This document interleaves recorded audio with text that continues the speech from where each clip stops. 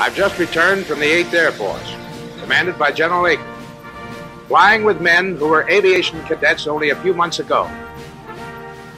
All I can say is, I can never hope to be in better company. Those boys can take it.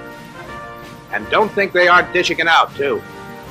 Any kid who can handle himself, and he doesn't have to be an All American to get into good shape, and who has a few brains, ought to be smart enough to find out how to become an aviation cadet.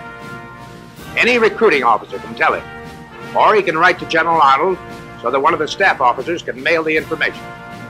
We're getting more and more planes. We need more and more gunners, pilots, navigators, and bombardiers, more aviation cadets. We also need 17 year old enlisted reservists to get ready for jobs in the Air Force.